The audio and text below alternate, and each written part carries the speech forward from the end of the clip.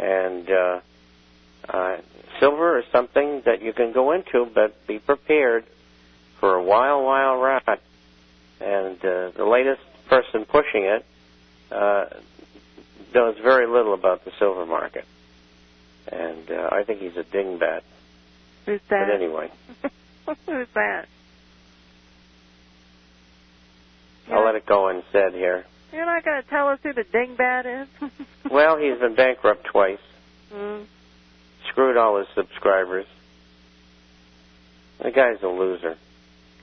Well, you know, I mean, I've I've spoken to people where they've had, you know, 100% of their investments into silver, and it's just like, you know, to me, Bob, I look at it, gold is a monetary metal. You want stability in your portfolio. You exchange one currency to another. They really did take a lot of the monetary factor out of silver. It's now in, more industry than than money. But I think that'll reverse, and I think it'll go back into more of a monetary metal in the future. But until then, I mean, you're right. It has huge swings. It's not mo- what most people can handle. In fact, you know, all the markets have great swings today. It's very hard to invest in everything, anything, wi- without experiencing wildness. That's because of the government. I mean, look at the Dow. In 12 days, 12 business days, it went from 6,600 to 8,000. I mean, give me a break. You talk about volatility. And the public isn't ready for that. Don't even think about trying to trade. Not only that, do you think it's real easy to carry around a quarter million dollars in silver? Most people can't. What, in your knapsack on your back? yeah. I you'd be running around on your knees. Tend to be the Jolly Green Giant. According to DPA News, Croatia's, uh, Croatia is investigating a mass grave of German and local soldiers executed in the wake of World War II. The site of Harmika, 50 kilometers northwest of Zagreb, on Croatia's border with Slovenia, presumably contains 4,500 bodies of German soldiers, including 450 officers that were executed by Yugoslav President Tito's partisans. Can you comment comment on that? well, I can go one step further. In Operation Keelhaul, our president, Eisenhower, turned over all the uh, Ukrainians who were fighting in the German army against Russia. And uh, I don't know, they killed a million people maybe in several days. Uh, they had them in a valley, and they had uh, artillery uh, trained on the valley, and they just blew them to pieces. And uh, you know, the remnants were, you know, buried, and uh, and so a lot of horrible things were done. Uh, but that was done on orders from our president, because he could have stopped that. He said, "No, the Russians, um, you can have them," and he turned them over to them. The death sentence.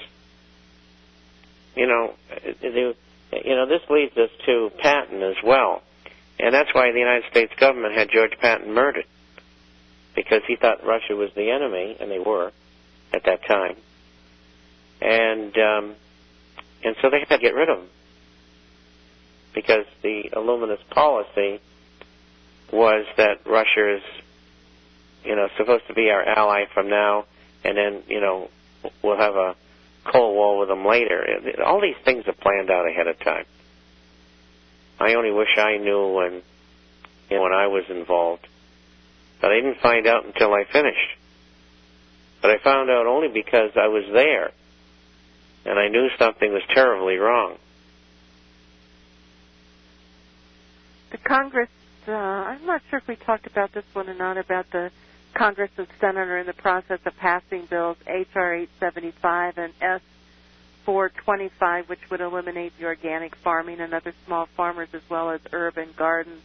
This would have an impact on local farmer markets and farm vegetable stands. Uh, it is supported by Monsanto, Tyson, ADM, etc. This is the same approach as I think we did talk about this as was undertaken in communist Soviet Union when they established uh, uh, large farms. That's yeah. right. Yeah, we did talk about this one. I remember. They did it in Ukraine too during the war. They killed uh, thousands and thousands of Ukrainians. And uh, uh, Stalin was a brutal madman, absolute madman, even more so than Hitler. But we had plenty of madmen on our side. Yeah. We had Winston Churchill who never drew a sober breath in his adult life. That guy was zonked almost all the time except when he was sleeping. well, he's a disgrace. You know, have a man leading a country as a stinking drunk all the time. Yeah. Now it's drugs. Yeah. There's a new uh DVD coming out. I, I watched the trailer on it, and it, it, it, it's, a, it's to me it's more entertaining. But it's called the uh, Life on the Edge of a Bubble. I think you can go to. Uh, they're going back over 200 years. It's supposed to come out next, I believe, the 13th. So you can go to the website or go to the YouTube, and there's several uh, uh, trailers that you can watch. But I, what I saw, it might be a a, good DVD uh, because a lot of people who um, are not aware, so to speak, like to be entertained, and perhaps this is one way that uh, maybe they'll. Uh, but to go back like 200 years with uh, actual uh, different types of advertisements, political statements, and speeches, and so forth that evolve into the, the bubbles that have been created through the Federal Reserve, through the gold standard, through all the economic downturns and bubbles that we've had, and up to where we are today. It's supposed to be a progression. So uh, that is supposed to be. But if anybody's interested in that, you can go to uh, uh, li- I believe it's lifeontheedgeofabubble.com. And um, so you can watch the trailers there, and I guess it's coming out. You can sign up at their website, and um, so uh, so if you have family members who um, need to be taught what's going on, maybe you can grab their attention with that, and then get get them a newsletter from Bob. Subscribe them to the International Forecaster, and then you send them to me so they can preserve their wealth by purchasing gold and silver coin. 800 375 4188. That's 1 800 375 4188. We're out of time. We will be back on Wednesday, and until then, you have a safe day. And thank you, Bob, for being with us. And have I'll a great see you on Wednesday. What? I'll see you on Wednesday. Thank you, Bob. Bye bye. Okay, bye bye.